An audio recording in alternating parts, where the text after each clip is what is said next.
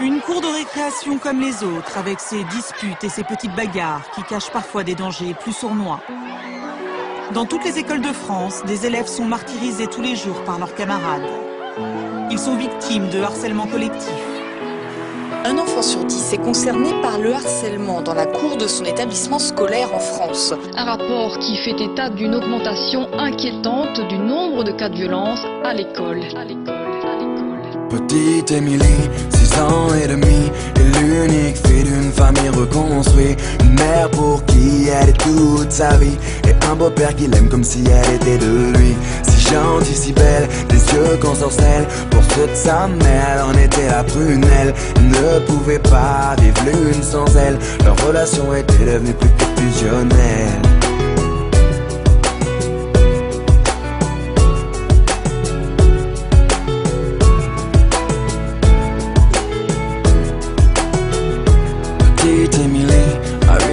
8 ans passés, rien n'a changé sauf qu'elle a déménagé. Fini la campagne isolée, elle vit maintenant en ville car sa maman fut mutée. Une nouvelle école, de nouveaux amis, elle ne mit pas longtemps à s'adapter à cette vie. Du haut de ses 8 ans, on peut dire qu'elle est ravie, car tout va pour le mieux pour petite Émilie.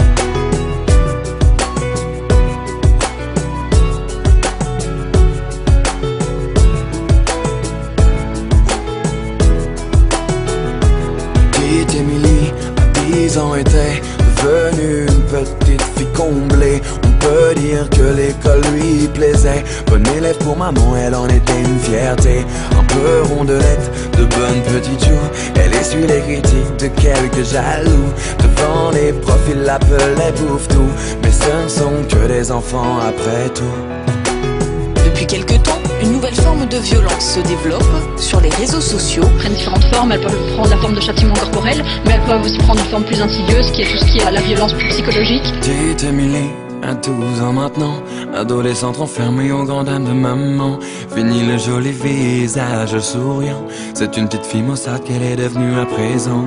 Faut dire qu'au collège, tout avait changé. Trop d'élèves ne faisaient que de se moquer. Partout elle se sentait rejetée, tantôt frappée, tantôt injuriée. Elle se demandait comment faire face. Elle était devenue le souffle-douleur de la classe.